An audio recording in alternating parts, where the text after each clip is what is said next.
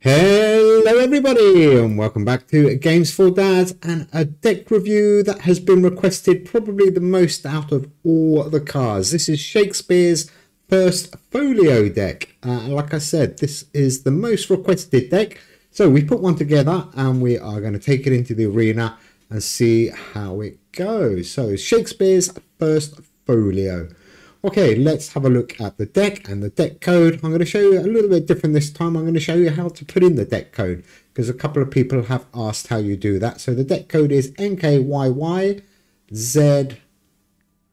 There we go. I've already got this deck built, but I just wanted to show you there. So it's a little bit different to the one on the left. Same cards, just in a different order. Anyhow, let's have a look at the cards. So the first one out is the Magna Carta. Great card, 2 for 15. Is a limited legendary on the draw. Your epic and rare cards, wherever they are, cost minus 2 until played. And on the play, your Declaration of Independence and Universal Declaration of Human Rights cards in hand gain plus 20 this turn. Well, I haven't got either of those two cards, but I am going for the energy saving on the epic and rare cards. Okay, you will notice that there is a lot of epics in this deck. It's obviously got Beowulf in it. We'll have a look at that one at the end. Uh, next one up though is the Power of Zero. 0 for 1, another epic card. Uh, on the draw, your opponent's cards in hand with 50 or more base power lose minus 49 and cost minus 2, no sorry, cost minus 1 energy for 2 turns.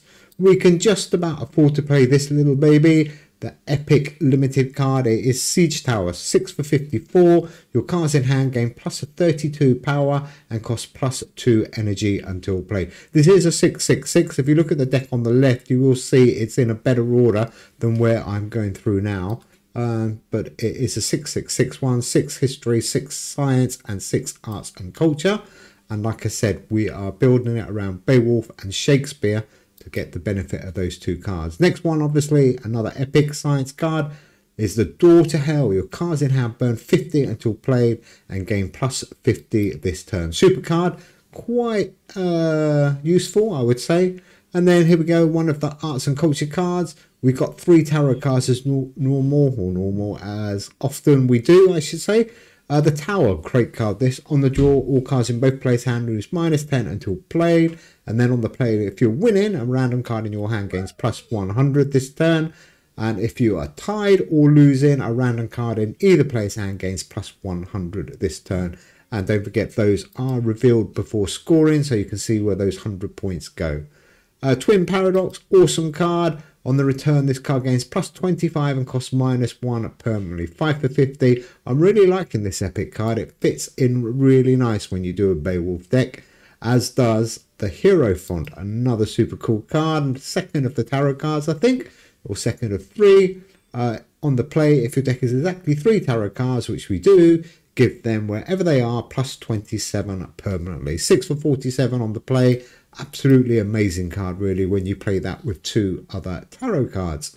And here is the third one. I've gone with the lovers. I don't normally play this one but because of the energy is quite low this week uh, 8 for 70 is ex expensive to play uh, but you only play two cards with this one because on the play if you play exactly two cards this turn and the cards are adjacent so make sure they're next to each other give both cards plus 70 this turn and this card gets really powerful and you can be hitting four 500 points just with two cards. Back to history then. We've got another limited epic the siege of baghdad. I love this one. On the draw your opponent's legendary cards wherever they are lose minus 25 for three turns. Absolutely devastating that one uh, if you are playing a legendary heavy deck also gone with Rat King on the draw your cards in hand game plus 13 permanently and this card loses minus 13 permanently. That's one of the weird world ones that's going to benefit from a Shakespeare in a minute. Statue of Liberty, like I said, it is a 666 deck. On the play, if your deck is exactly six science cards, your science cards, wherever they are, gain plus 21 power until played and repeat for each album. So because it is 666, every single one of our cards will get that 21 power. And then we've got Handfasting. What an amazing card. It is epic, so it fits in perfectly into this deck. Uh, 6 for 57, so not too expensive to play. Uh, and if you play it in the left slot, this card and the card adjacent to this gain 34 for 6 turns. So it will come back around with that 34 back on it again. So it will get really powerful. Uh, another weird world card, Roanoke Colony on the return. If you lost the turn, your opponent's cards, wherever they are, lose minus 10 until played. And if you won the turn, your cards, wherever they are, gain plus 10 until played. So pretty useful, but like I said, he's going to work really well with Shakespeare. Another arts and culture card, another epic, another awesome card. Uh, ballet. Uh, on the play, if played in the left slot, your good sports cards, wherever they are, gain plus 24 until played. This is the one you want to do. If played in the middle slot, this card gains plus 40 permanently. And if you play it in the right slot, your history cards in hand gain plus 22 for two turns. So you do have the option because we've got quite a few history cards in this deck to play it in the right, but I tend to play that one in the middle to get the maximum input. And here we go, the guy that we built this deck around, uh, Shakespeare's First Folio, amazing card.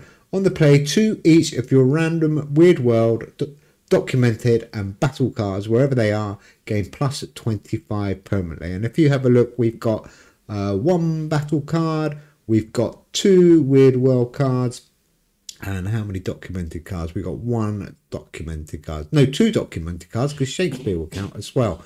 So five of our cards are going to get 25 permanently. Absolutely amazing card if you build it. And he's an epic, so he fits in perfectly with Beowulf. And then we've got Identity Theft, another epic card, no brainer really, 8 for 68. On the play, every legendary or for every legendary card in your opponent's deck up to a maximum of 10. Your cards in hand gain plus 4 until played. This deck is absolutely amazing. It's going to cruise through pretty much any deck you come up with. And another great epic card, the Grim Reaper Paradox. I love this one as well. 6 for 67 on the draw. If it's round 1 or 2, your opponent's cards in hand lose minus 32 power this turn.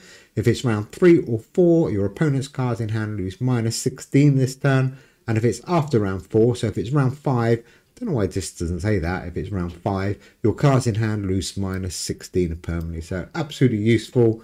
I love the Grim Reaper Paradox. And there we go. As I said, we are using Beowulf, Shakespeare, and Statue of Liberty. So three deck building cards in this deck.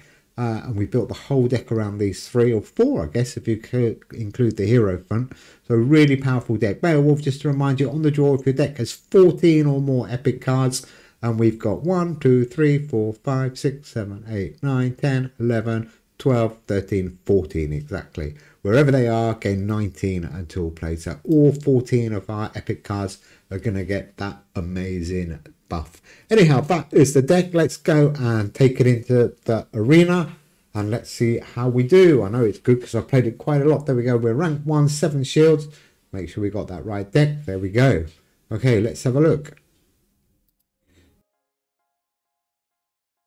See if we can get an opponent fairly quickly. Doesn't look like it. Come on. Okay, here we go. Cards. What's that called? Cards everywhere. Okay, there will be cards everywhere. Cool name. Okay, so here we go with our Shakespeare's first folio. Oh, look at that. Grim Reaper straight out at the beginning and Tower.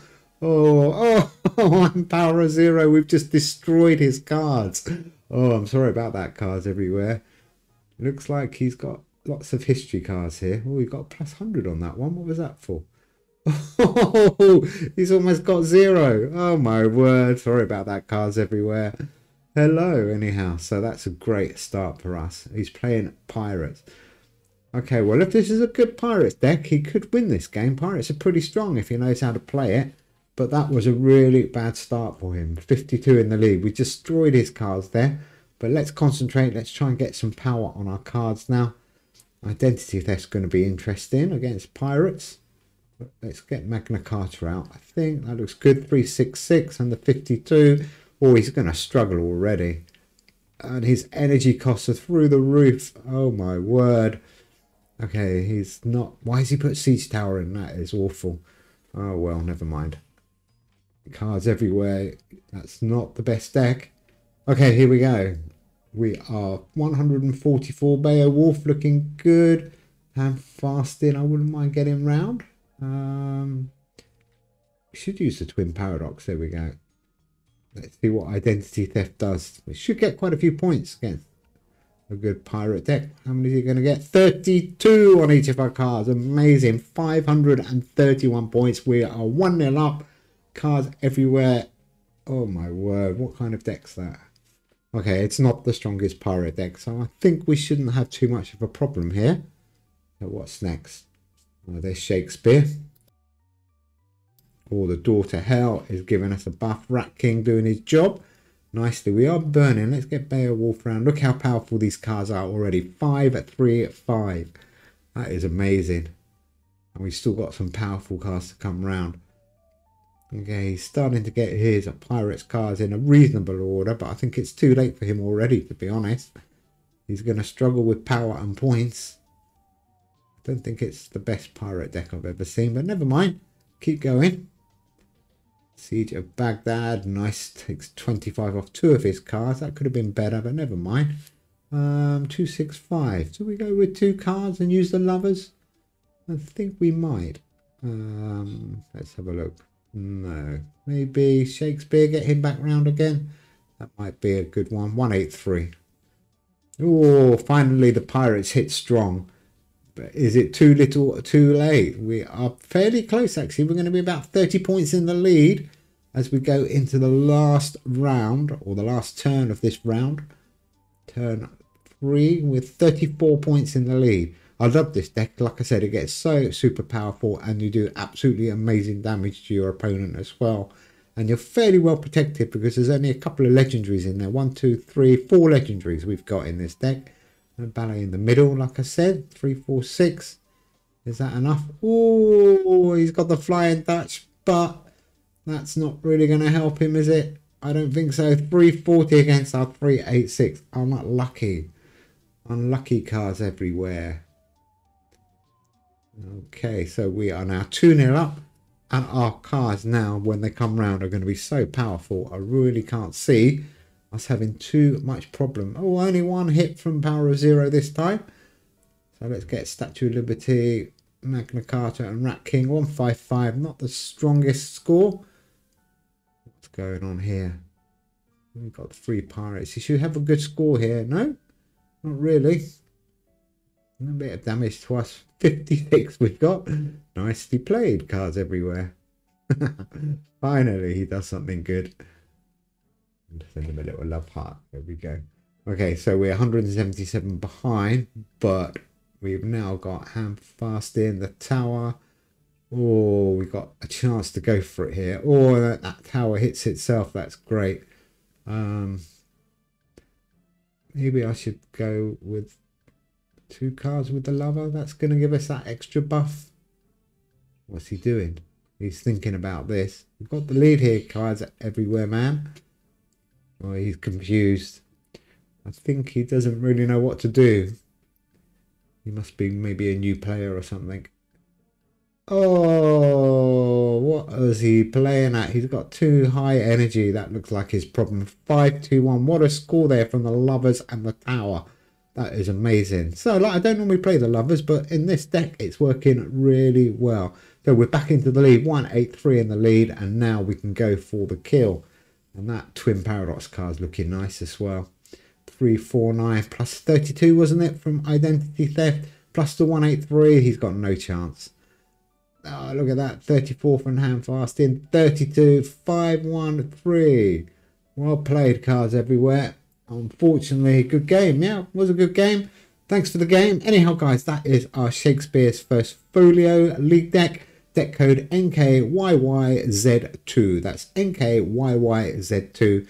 I'm going to give this a 9 or maybe even a 10 out of 10 because I absolutely love this deck. It is really cool. Anyhow, that's another shield. I think that's 8 shield for us now. Thank you very much. Um, we will be back very shortly with some more videos.